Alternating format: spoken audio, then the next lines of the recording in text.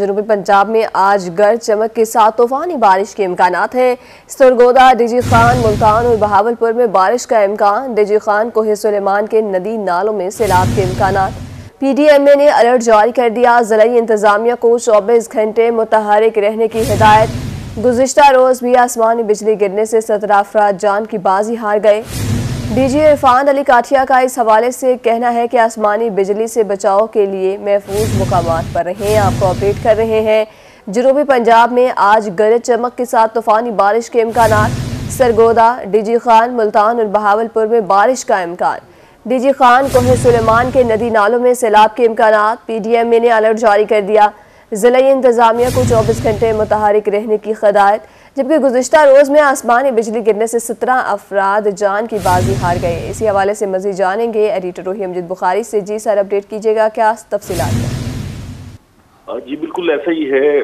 PDMA ने alert जारी किया है और बताया है कि जनूब पंजाब भर में तूफानी बारिशों का इम्कान है और उससे जो है नदी नालों में भी सैलाब के खदशात हो सकते हैं और शहरों में भी सूरत खराब हो सकती है।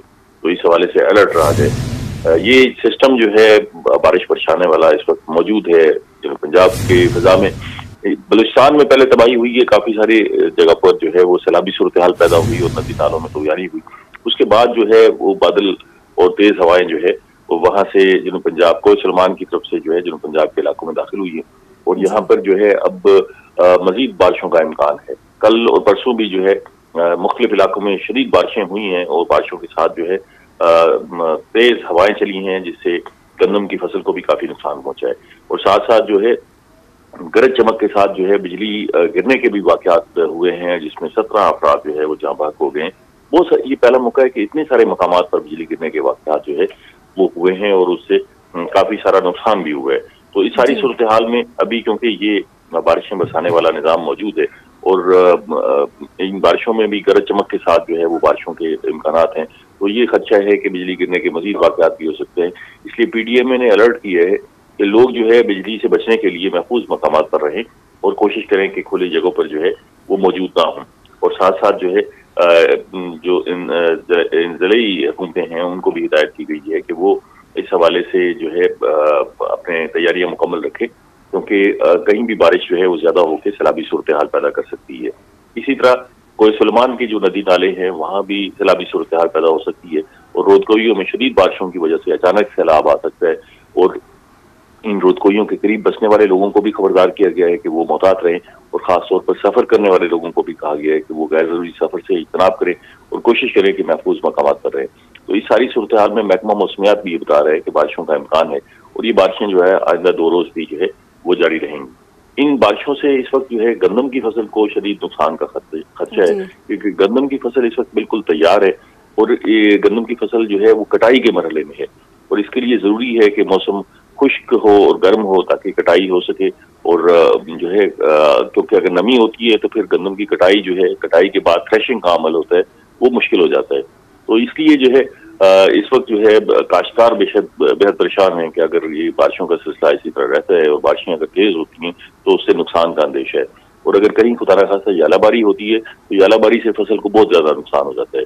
और बारिश के साथ अगर तेज हवाएँ चलती हैं तो उससे फ़सल जो है, वो लेट जाती है और फ़सल गिर जाती है। और फिर फ़सल गिरने की वजह से जो है जो गंदम की बालियों में से दाने होते हैं, वो गिरते हैं उससे नुकसान का अंदेशा होता है। और वेस्टेज होने की वजह से जो है, ये भी खदशा होता है कि फ़ी मन तकरीबन तीन से चार मन जो है वो गंदम की कमी हो जाए। और तीन से चार मन अगर गंदम की कमी होती है तो मजमू तौर पर जो पैदावार है, उस पर बेतहाशा असर पड़ता है। इस वक्त हम ये देख रहे हैं कि गंदम की बम्पर पैदावार हुई है और अल्लाह तला के करम की वजह से बहुत अच्छी फ़सल है और हम ये तो कर रहे थे कि बहुत अच्छी पैदावार के साथ ना सिर्फ़ हम अपनी जरूरियात भी पूरी करेंगे क्योंकि वाफर गंदम को बाहर भी भेजा जा सकता है। लेकिन अभी जो मौसम खराब हुआ है और मौसम की सूरत हाल खराब है इससे बचाव के लिए जो है वो काफ़ी इकदाम किए जा रहे हैं। और कोशिश की जा रही है कि जो है काश्तकारों को अलर्ट रखा जाए उन्हें बताया जाए कि वो इस सारी सूरत हाल में गंदम की कटाई के लिए अपनी तरतीब दे प्रोग्राम्स और मौसम की सूरत हाल को मद्देनजर रख के कटाई की जाए। जिन जगहों पर कटाई हो चुकी है और उन्होंने गड्ढे बनाकर रखे हुए हैं, वहाँ पर खदशे की सूरत हाल इतनी नहीं है। जैसे ही बारिशें खत्म होती हैं तो वो अपनी गंदम को खोल के, फैला के, धूप से सुखा के, दोबारा जो है गहाई या थ्रेशिंग का अमल कर सकते हैं। लेकिन जहाँ पर अगर फ़सल गिर गई है तो उस गिरने से भी उनको घबराहट की ज़रूरत नहीं है। अगर वो फ़सल पक चुकी है, और क्योंकि उसने दोबारा खड़ा नहीं होना, अगर वो फ़सल पक चुकी है तो उसको कटाई की जा सकती है। अभी ये सूरत हाल जो है बारिशों की, वो शहरी इलाकों के लिए भी काफ़ी सारी खतरनाक है, क्योंकि हमारे जो सीवरेज के निज़ाम है, वो काफ़ी हद तक नाकारा हो चुके हैं। और अगर पानी ज़्यादा मकदार में आता है तो जो सीवरेज का निज़ाम है, वो दबाव बर्दाश्त नहीं कर सकता। तो इस सारी सूरत हाल में भी इंतजामिया को अलर्ट किया गया है, और खासतौर पर वासा, जहाँ जहाँ वासा मौजूद है, उन्हें अलर्ट किया गया है, और बाकी जो म्यूनसिपल कॉरपोरेशन के इदारों को अलर्ट किया गया है, कि इन शहरों के अंदर शराबी सूरत हाल से बचने के लिए निकासी के निज़ाम को बेहतर किया जाए। और ख़ासतौर पर अगर कहीं रुकावटें हैं पानी के निकास में तो उनको फौरी तौर पर दूर किया जाए। तमाम जो ज़िले हुकूमतें हैं, वो मुतहरक रहें और इस बारिश की सूरत हाल पैदा होने से पहले ही जो है वो अपनी तैयारियाँ मुकम्मल कर लें। जो गुजशत दो रोज की बारिशें हुई, उसमें पानी काफ़ी सारा जमा हुआ। बहुत सारे इलाकों में जो है पानी बड़ी मकदार में इकट्ठा हुआ, लेकिन क्योंकि ये काफ़ी अरसे बाद बारिश हो रही थी तो ज़मीन भी काफ़ी खुश थी और वो पानी जो है, काफ़ी सारा जो है, ज़मीन ने जज्ब कर लिया। उस पानी को तेज़ी से डिस्चार्ज भी कर दिया गया और काफ़ी सारा जज्ब भी हो गया। लेकिन क्योंकि अब ज़मीन गिली है और उसमें पानी पहले ही मौजूद है और रिचार्ज हो चुकी है तो अगर मजीद बारिशें होती हैं तो अब ये खर्चा होगा कि वो पानी खड़ा होगा और उससे जो है ना सिर्फ़ शहरों के अंदर बल्कि देहातों में भी काफ़ी नुकसान का खर्चा हो सकता है। तो इस सारी सूरत हाल के लिए लोगों को हिदायत की गई है कि वो तैयारी रखें। कोई सलमान के नदी नाले जो है, वहाँ से आमदोरफ्त भी बहुत ज़्यादा होती है और लोग जो है वहाँ से गुजरते हैं। वहाँ भी जो है लोगों को कहा गया इन कोसलमान के नदी नालों में जो पानी है वो अचानक आता है और अचानक वहाँ सैलाबी सूरत हाल पैदा होती है। और कई दफ़ा ऐसा हुआ है कि उन, उन नदी नालों को बड़े नदी नाले होते हैं एक एक किलोमीटर पार्ट के नदी नाले होते हैं तो उनको पार करने वाले जब अचानक पानी आता है तो उसमें बह जाने का भी खदशा होता है। तो उन्हें हिदायत की गई है कि वो इस हवाले से अलर्ट रहे और खासतौर पर जो आमदोरफ्त की जगह हैं, वहाँ पर भी जो है उन लोगों को अलर्ट रखा गया है। पहाड़ों पर जैसे बर्फ़ बारिश होती है तो वो पानी जो है अचानक नीचे नदी नालों में आता है। तो वो पता नहीं लगता क्योंकि बारिश जो है, वो पहाड़ों पर हो रही होती है और नीचे उसके असरात आते हैं। तो वहाँ भी हिदायत की गई है कि जो है वो इस सारी सूरत हाल के हवाले से तैयारी मुकम्मल रखें और शहरी तैयारी भी जो है मुकम्मल रखें।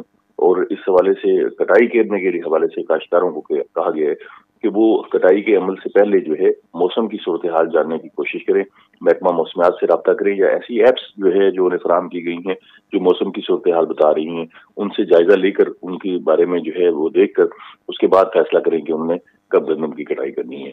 ये जो बारिशें हो रही हैं खासतौर पर जो बारिश जिसमें गरज चमक के साथ जो है बारिश होती है और बिजली कड़कती है तो ऐसी बारिश के अंदर जो है नाइट्रोजन जो है वो मौजूद होती है। और नाइट्रोजन खुद जो है एक अहम खाद है जो काश्तकार जो है मसनू तरीके से यूरिया के ज़रिए हासिल करते हैं।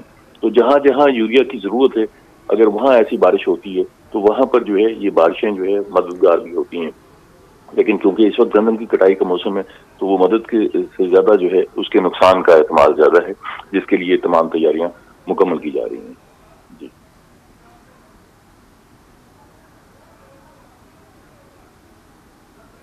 जी, एडिटर रोहिम अमजद बुखारी, हमारे साथ मौजूद थे। बहुत शुक्रिया, आप हमें तफसीत से आगाह कर रहे थे।